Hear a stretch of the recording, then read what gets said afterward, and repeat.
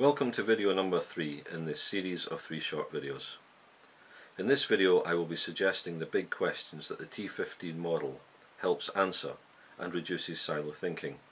In working towards and achieving the answers to these questions, the model also provides the evidence to ensuring profit improvement and cost reductions have been achieved. Waste reduction and eradication is evidenced, and that knowledge transfer and coaching is happening in practice whilst progress is being made towards culture change and continuous improvement thinking is becoming the norm. The model helps answer the following key question.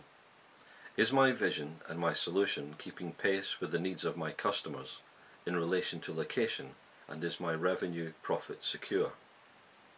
The model helps answer the following key question.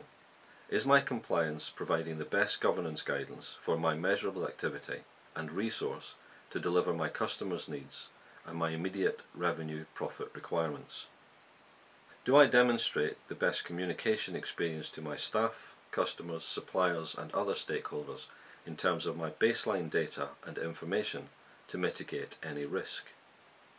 Is my vision aligned to my compliance guidance and have I employed the best communication policy and strategy to keep my staff, suppliers, customers and other stakeholders fully informed?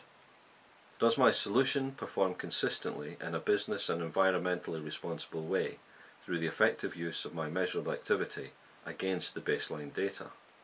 Is my performance the best it can be taking into consideration the social impact of my location and resource requirements in relation to any risk? The model helps facilitate a culture of improvement. Am I instilling a high value performance focused, low cost improvement culture through the alignment of my vision, measurable activity and risk objectives. The model helps facilitate the development of a positive attitude towards continuous improvement. Am I influencing and improving my staff, customer, supplier and other stakeholders' attitude in a positive manner through the alignment of my communication, measurable activity, location, objectives? So there you have it, the complete overview of the T15 model.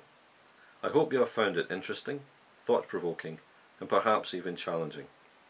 To learn how to use the T15 model to its full potential and ensure you create one version of the truth and have a business that is truly balanced, please do not hesitate to contact me. I look forward to hearing from you soon. Thank you for watching.